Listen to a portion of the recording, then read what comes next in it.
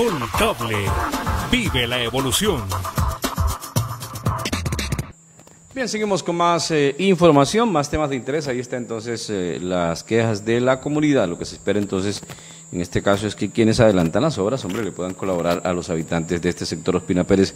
Uno, dos, dice, bueno, Edilson González que nos escribe, Gustavo Llanos, eh, Hernández Dairó, saludos de, bueno, para la hija, Juan Pérez, saludos de Juan Carlos Pérez, el Espinal, Rómulo Padilla Vergara desde Bogotá, capital del país, bueno, creo que está en Bogotá o por fuera de Colombia, pero un saludo que nos envía saludos, un saludo especial también para el que está conectado con nosotros a esta hora de la noche a través de nuestra mesa, eh, a través de nuestro informativo mm, de carácter local, regional, nacional. Paula Osorio nos tiene información sobre el centro de digitación más importante que tiene Colombia, que tiene sede en la capital del país.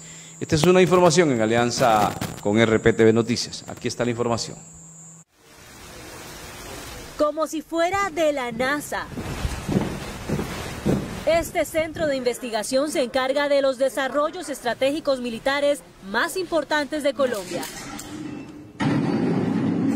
la habilidad básica para uno de los militares, aparte de su cultura física, aparte de su capacidad intelectual, tiene que ser naturalmente el desarrollo de tiro. Esto nos permite nosotros adelantarnos a todas las situaciones que se pueden presentar dentro de diferentes escenarios del territorio nacional. La simulación de tiro, de terreno y los sensores corporales son algunos de los desarrollos tácticos más importantes de la Escuela Militar de Cadetes General José María Córdoba, el alma mater militar más reconocida de Latinoamérica.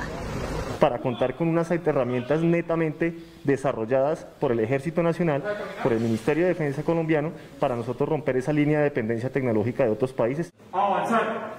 Este campus también es catalogado como la Universidad Militar de Alta Calidad, donde se forman los colombianos que definen su vida laboral desde el Ejército Nacional tomar una posición defensiva, trompetilla arriba. Acá se preparan no solo militarmente, sino académicamente, desde los primeros rangos de los oficiales, tienen pregrado, maestrías, se están educando cada día para profesionalizar más la fuerza y entregarle lo mejor de ellos a Colombia.